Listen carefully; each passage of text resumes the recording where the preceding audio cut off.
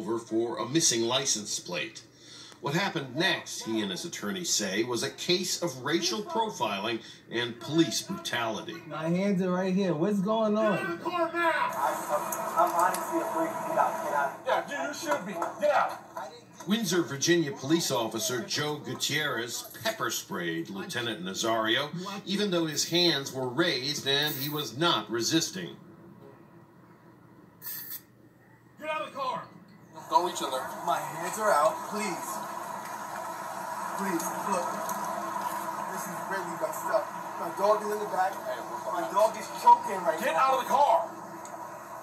Nazario repeatedly asked the policeman why he was being assaulted. Get out of the car right now!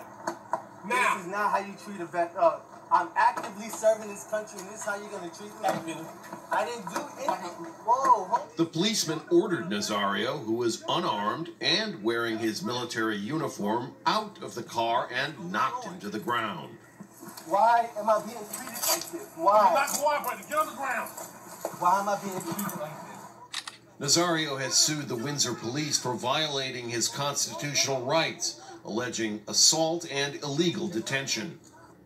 He was not resisting. Nazario, who was not charged in the incident, says the policeman threatened to damage his reputation in the military if he told anyone about how he was treated. They knew they were in the wrong, and then Next was caught on camera. CBS's Christina Ruffini has more. Get out! Get out the car! Get out I have not committed any crimes. In body camera and cell phone video, Army Second Lieutenant Caron Nazario, still in his uniform, keeps his hands visible out the window of his new car, while two Windsor police officers, guns drawn, order him to get out. I'm honestly afraid to get out. Yeah, you should be. Get out! Get! Nazario repeatedly asks why he's been pulled over. One of the two officers pepper sprays and kicks him. Why am I being treated like this? You're Why? not cooperating. Get on the ground! He's handcuffed while they search his car. Was he afraid if he took his hands out of view, something really bad would happen? yes. So much was he built to do anything. He was any misstep. He was afraid that they were going to kill him. Attorney General says Nazario was pulled over for not having tags displayed on his SUV. But the temporary dealer plate is visible in the officer's body cam video.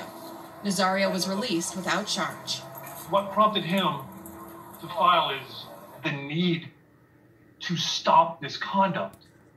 The need to. Police officers are being sued by an Army second lieutenant, claiming his rights were violated during a traffic stop captured on multiple cameras.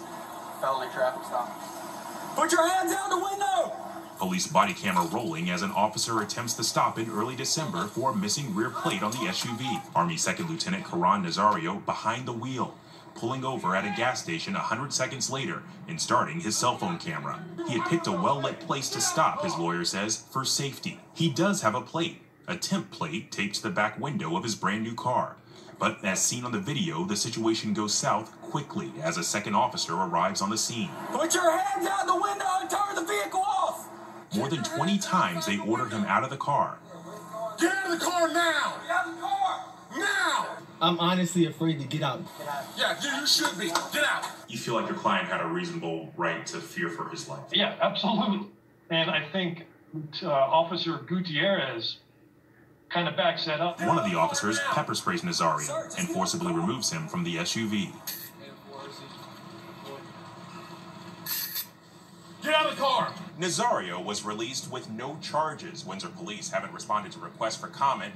Nazario's attorney says his client is suing so that these incidents stop happening.